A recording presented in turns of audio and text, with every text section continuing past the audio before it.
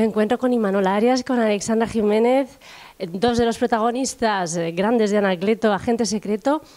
Imanol, voy a comenzar contigo. Cuéntame un poquito, eh, que la gente cuando vaya a ver la película, la verdad es que vas a, vas a sorprender a todo el mundo porque, bueno, en el Lute sí que te vimos también bien en forma, pero para esta película te has tenido que preparar. Cuéntanos físicamente de qué manera.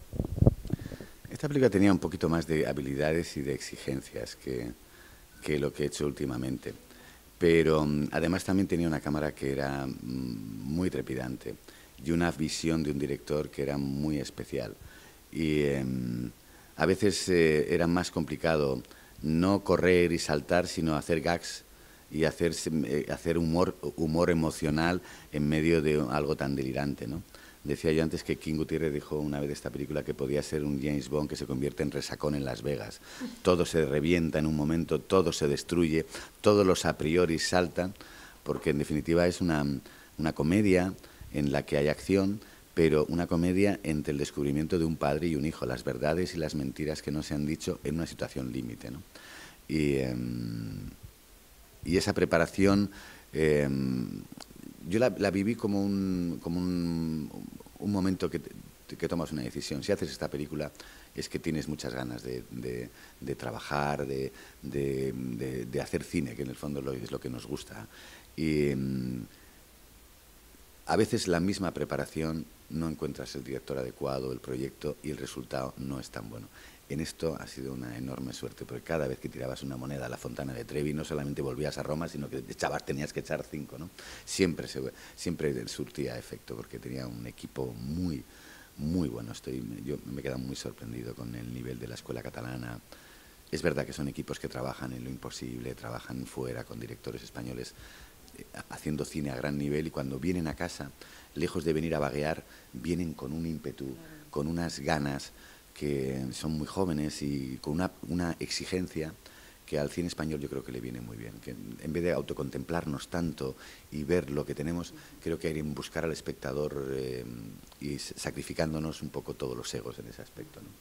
Creo yo. Las coreografías que se ven eh, de algunas luchas o cómo preparas al personaje que hace de tu hijo, eh, realmente tuviste que repetir muchas veces esas tomas porque son coreografías realmente complicadas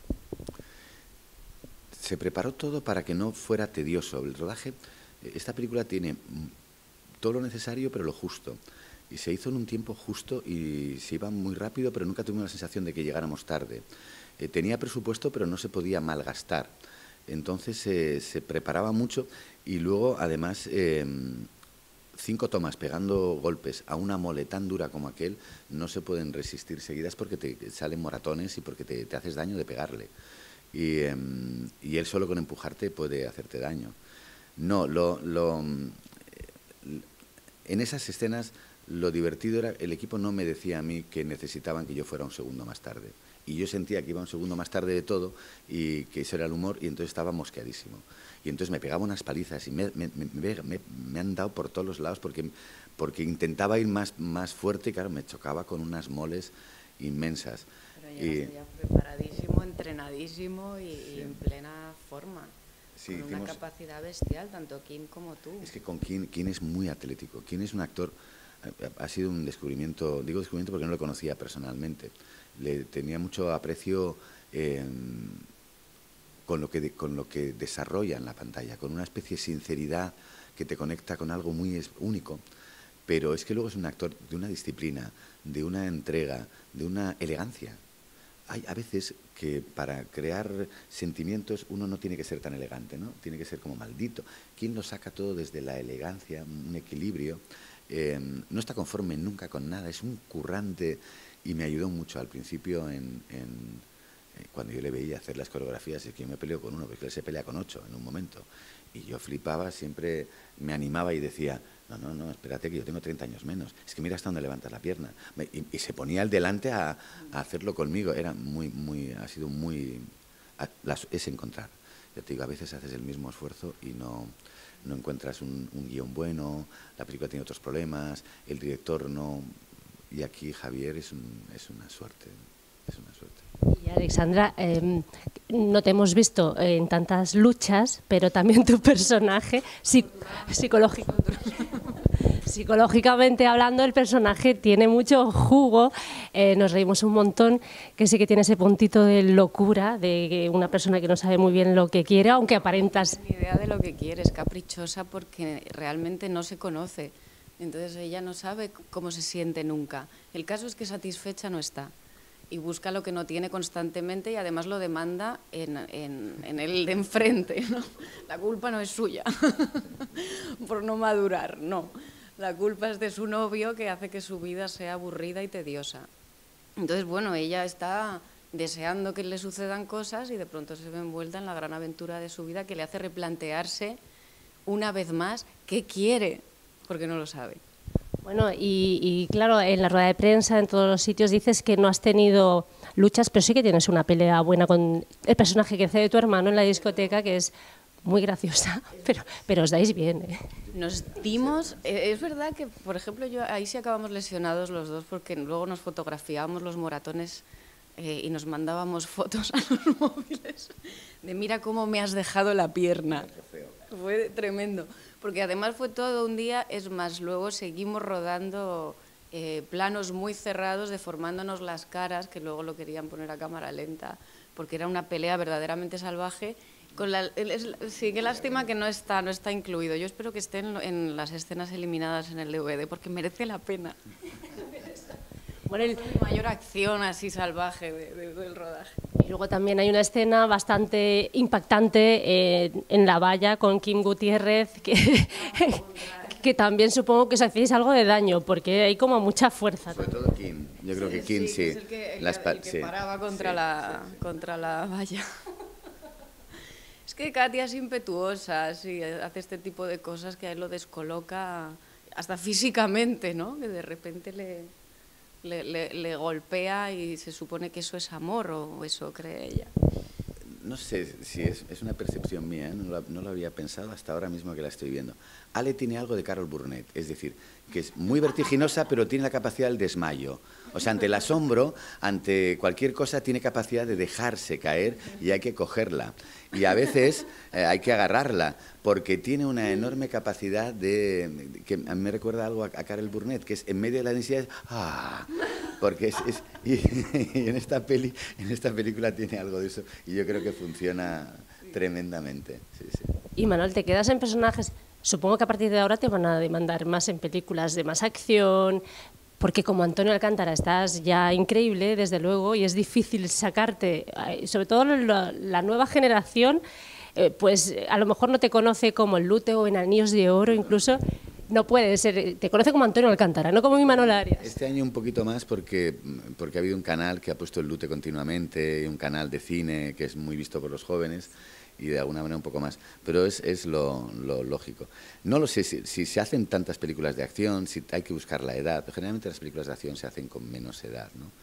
Y, em, y, ahora con este asunto de los parecidos, ya, yo ya hago hasta bromas. Y tengo un amigo argentino que es un grandísimo actor que cuando me vio Vicente Ferrer me decía, no le había más parecido, ¿no? O sea, solo así lo que se parecen a vos. Eres un vago, decía, es el tipo más vago del mundo. Te queda por hacer Cervantes, estoy probando la barba a ver, dice, te queda por hacer Ramón y Cajal tampoco estaría mal, digo, no, ya he hecho Severo Ochoa, entonces tengo, en fin. No, yo espero que, que mm, bueno, sí, que esta edad, que el ser padre me dé, me dé un margen todavía, de, porque, porque me apetece mucho vivir el cine, ni no me he cansado, no, no estoy cansado, ni además me considero tan bueno como para despreciar nada, ni, em, ni la vida, eh, quedan muchas cosas por resolver en la vida. Y, por, ser feliz. Entonces creo que el cine es un buen camino para eso. Sí, afortunadamente los prejuicios con el cine español se están echando por tierra. Afortunadamente el público español está apostando por ver el cine español, que cada vez tiene más éxito. ¿Cómo invitamos a los españoles a que vean Anacleto Agente Secreto. Es que yo creo que es un orgullo lo que ha hecho, lo que ha hecho Javier con esta película y forma parte, por supuesto, de nuestra cultura, es, es, algo que forma parte de nosotros. Anacleto eh, ha estado, está y estará. Y desde luego el retrato que ha plasmado Javier con esta película creo que va a quedar para siempre como algo de lo que sentirnos muy orgullosos eh, no solamente los que lo hemos participado, sino como, espectadores también. Yo ayer me abstraía de, formar parte por momentos y, me ponía como mera espectadora y, para mí es un orgullo saber que hay equipos de trabajo como este y que hay directores como Javier Ruiz Caldera y por supuesto actores como Imanol Arias con el que he soñado trabajar desde muy pequeña. Eh, creo que simplemente es orgullo y que tenemos que empezar a entender que lo único que nos hace falta es ser conscientes de que hay muchas cosas que cada vez las hacemos mejor. Yo creo que hemos, eh, hemos dado muchas vueltas y, claro, todo en, la, todo en, todo en, el, mundo y el arte es un, el arte o el espectáculo es mucho reflejo, eh, vive muy en la época. Hemos vivido una época de mucha memoria y con la memoria tenemos problemas en España, problemas de división. Hemos vivido una época en la que nuestro cine impactaba por la literatura que había detrás, por una cierta, una cierta europeidad, un país que emergía del oscuro, que se iba iluminando y entonces en la iluminación se iban encontrando historias, eh, recuerdos, venganzas, rencores y poco punto de vista sobre nosotros mismos. La televisión, curiosamente, empezó a abrir el camino de reírnos con nosotros mismos y aprender.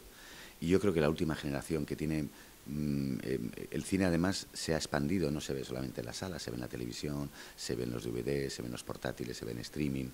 Em, hay, un, hay una necesidad de encontrar públicos masivos para que el, público, el cine no se encarezca. Ya es suficientemente caro. Entonces, tomar una decisión de una familia, ir a ver una película, exige un punto de vista de momento, como dice eh, Ale, de ser orgullosos y decir, bueno, eh, hay que apostar para eso. Por encima, pues digo que es una posición más humilde, por encima de nosotros mismos, de nuestros egos.